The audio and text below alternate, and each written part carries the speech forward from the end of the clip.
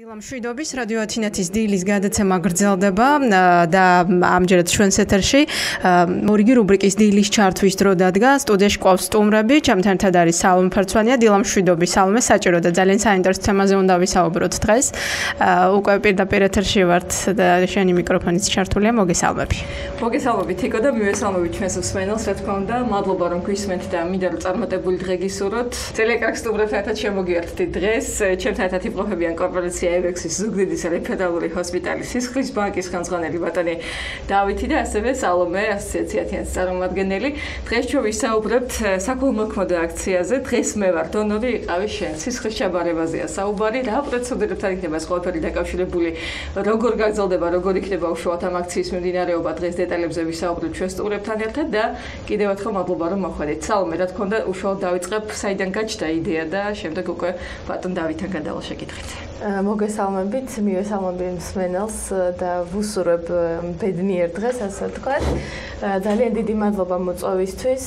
ჩვენ სამოქალაქო განათლების პროგრამა მომავლის თაობის ფარგლებში სხვადასხვა აქციებს გვეგმოთ პერიოდულად და ამჯერად, ასე ვთქვათ, ქონდა ინფორმაცია, რომ ზოგადად სისხლის ნაკლებობას აქვს, ასე ვთქვათ, ანუ პრობლემა არის ეს, წარმოადგენს პრობლემას ჩვენთან სამეგრელოში განსაკუთრებით და როდესაც მოსწავლეებს მივაწოდეთ ინფორმაცია, ძალიან აქტიურად ჩაერთნენ ამ აქციაში, ასე ვთქვათ, დავგეგმეთ. და ზუგდიდის კორპორაცია EUX-თან ერთად რეფერალურ ჰოსპიტალთან ერთად გადავწყვიტეთ, რომ ეს დონაცია, ასე ვთქვათ, გაგვეკეთებინა 17-დან 22 ივლისამდე იქნება ეს შესაძლებელი, რომ მოვიდეთ ჩავაბაროთ სიცხე, გადავარჩინოთ ცხვის სიცოცხლე და რა თქმა უნდა, ეს იქნება უბრალოდ ოფიციალური სახე აქციის, მაგრამ ნებისმიერ დროს შეიძლება მსურველს გაიღოს სიცხე. ნებისმიერ დროს მზად არიან, ასე ვთქვათ, თანამშრომლები ჰოსპიტალის რომ მიიღონ არა მხოლოდ ამ აქციის ფარგლებში, არამედ ზოგადადაც ასე ხდება ხოლმე. ბატონი დავით ჩიქავა იმყოფება ჩვენთან ერთად სვენელ შევახსენებ ის გახლავთ რეფერალური ჰოსპიტალის სისხლის ბანკის ხელმძღვანელი, ამავდროულად ექიმი, ტრანსფუზიოლოგი ბატონი დავით. რას ნიშნავს სისხლის დონაცია და რა სახის პროცედურაა ეს? რა სირთულეებთან შეიძლება იყოს დაკავშირებული და უამრავი მითი არსებობს სისხლის დონაციასთან დაკავშირებული ძალიან ბევრ ჩვენს ეშინია ხოლმე სისხლის ჩაბარების. არ ვიცი, ნემსის, არ ვიცი, ალბათ სისხლის დანაკარგის მოკლედ რას რა არის ეს სისხლის დონაცია რომ განმარტოთ ჩვენთვისაც და ჩვენი სვენებს. უბრალოდ მოგესალმები, მოგესალმები ჩვენ მსმენელებს გაგიმართ სანამ სისხლის დონაციაზე და ასე უშუალოდ იმაზე გადავიდოდეთ თუ რა არის და როგორ კეთდება რამ განაპირობა ეს აქცია აქცია აქცია ძირითადად ეს აქცია და საერთოდ რისთვის არის საჭირო რომ ხალხი მოვიდეს ადამიანი და ჩააბაროს სისხლი. უპირველესად ევროკავშირს აქვს ასეთი რეგულაციები რომ 2020 წლისათვის უნდა იყოს უანგარო დონორი გახდეს. არ იქნება არც ესესავი და არც ფასიანი დონორი. ეს არის მათი უშუალო მოთხოვნა და ანუ მოხალისეობრივად მოხალისეობა უანგარო დონორი არის მოხალისე დონორი რომელიც მოდის წელიწადში ორჯერ, სამჯერ, ოთხჯერაც შეიძლება ეს ყოველ ორ თვეში, ორ თვენახევარში შეიძლება ეს შეფარება და რომ შეივსოს ბანკი, რომ სისხლი საკლებობა არ კონდეს, იმიტომ რომ ეს ისეთი მასალა პრეპარატია, რომელიც შემცვლელი ჯერჯერობით არ გამოგონილა და არ არსებობს. ბატონ დავით, რა უნდა გაკეთდეს იმისთვის, რომ ადამიანები ესე მარტივად მიდიოდნენ და აბარებდნენ სისხლს? რა არის ამისთვის მნიშვნელოვანი, რომ ალბათ ინფორმირებულობა ინფორმაცია და მონდომება თვითონ უნდა შეეროდეს და უნდა კონდეს სურვილი რომ დაეხმაროს ვიღაცას როცა შენ გასცემ სისხლს ამის შენ არჩი გადაარჩენ სამ სისხლს. სამ რატო სისხლი იყოფა კომპონენტებად უშუალოდ ერმასა ხდება პლაზმა ხდება და კიდევ სხვა კომპონენტების რომელიც საჭიროა ორგანიზმისათვის და შენ ერთი ჩაბარებით ერთი დონაციით სამ სიცოცხლეს არჩევ. ძალიან ხშირია შემთხვევები, როცა ადამიანს ვთქვათ წონა არ უწყობს ხელს, იქ გემოგლობინი აქვს დაბალი 50 კილოგრამის ზევით. 50-დან ზე. და რა ასაკია? ასაკი არის 18-დან 60 წლამდე. ბატონ დავით, მე გავიგია რომ სასარგებლოა სისხლის შაბარება. ან გადაიმისავ საქველმოქმედოა და კარგია და კეთილ საქმეს ვაკეთებთ, ორგანიზმისთვისაც კარგია. ორგანიზმისთვისაც კარგია. ეს როგორც ასეთი სისხლის დეპოში გროვდება ჩვენი სისხლი, რომელიც დროის განმავლობაში საერთოდ ცხოვრებიდან გროვდება სისხლი და როდესაც ხდება სისხლის გაცემა, ამ დეპოდან გამოიყოფა ეს დაგროვილი სისხლი და აძლევს სხვის უჯრედებს, რომ ახალი სისხლი და ახალი უჯრედები გამოიმუშაოს. ასე რომ თანაც ქალბატონებს მოახსენებ ერთი დონაცი 600 50 კილოკალორიას უკლებს. ვაუ. ასე რომ ეს ძალიან სასიამოვნო და საინტერესო ინფორმაცია იყო. ასე რომ არ არის ეს საშიში არის ძალიან მარტივი, უმტკივნეულო, უსაფრთხო პროცესი. სისხლის აღება და ჩაბარება. როგორ ხდება ხოლმე უშუალოდ სისხლის პირველად როგორც კი აი აი მაგალითად გადავწყვიტეთ რომ ხვალ ვაბარებ სისხლს. კი ბატონო, უნდა მოხვიდეთ აუცილებლად ხარ მოსიონებული ნახსაუზმევი და სასურველია 1.5 ლიტრამდე უგაზო წყალის ძალევა, უალკოგოლო, სითხეს მიღება.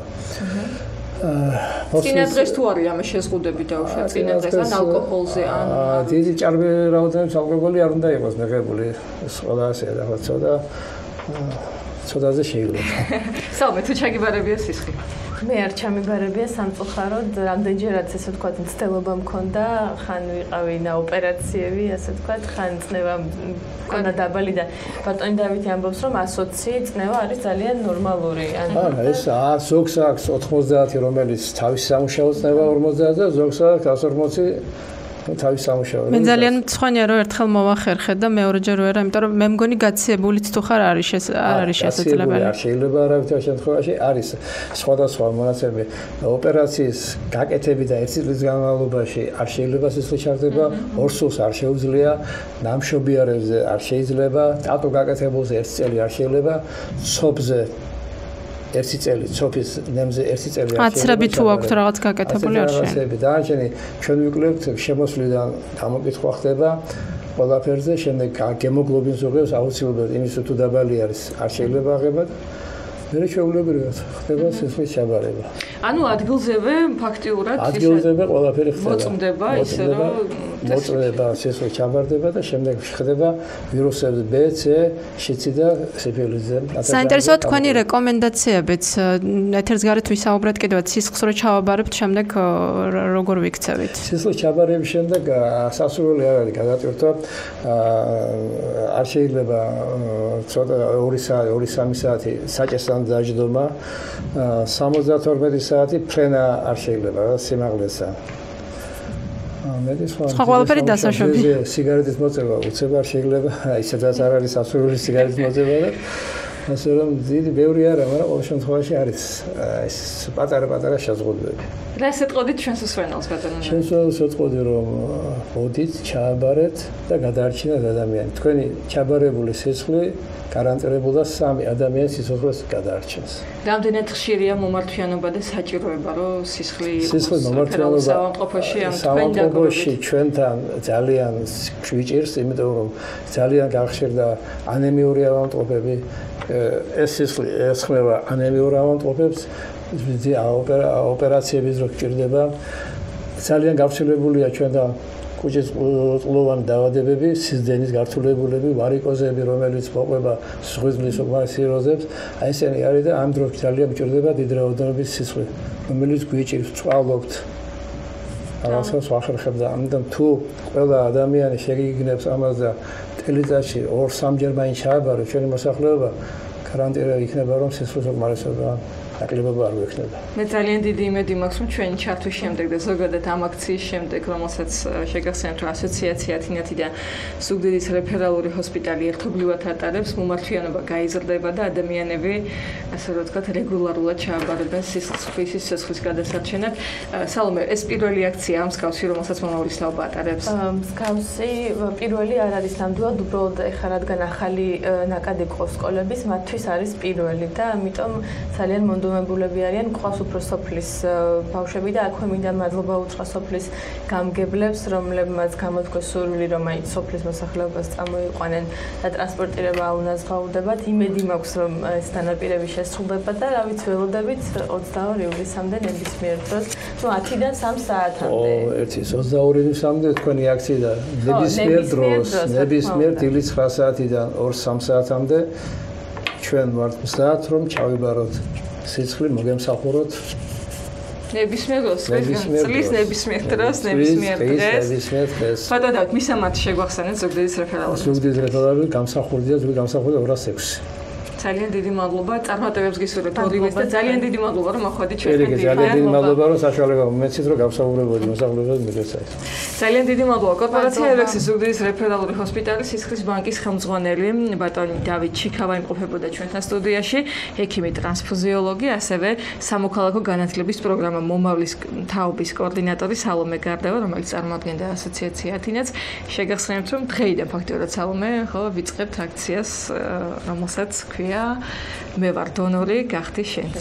ასე რომ გელოდებით ყველა სუდის რეფერალ ჰოსპიტალში მე მაგალითად ვეცდები რომ დღეს ვიწავიდე და ჩავაბარო სისხლი ძალიან დიდი მადლობა. მადლობა თქვენ.